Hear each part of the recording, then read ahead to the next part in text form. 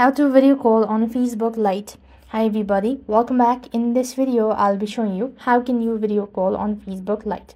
To video call on Facebook Lite, you need to follow the steps. First thing, launch open your Facebook Lite application and log into your account.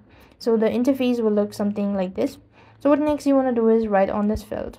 You want to click on the messenger icon from the top of the page and then you want to go ahead and locate the person that you want to contact or that you want to make a video call. So let's see this is the one. At the top right hand side corner you could see this video call icon right? It is as similar as using any other messenger application or the official messenger application.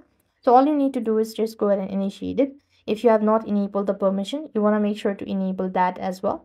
And you'll have successfully video call a person through a facebook lite that is how it works. I hope the video was helpful. Make sure to like share and subscribe. Thank you for watching. See you in the next video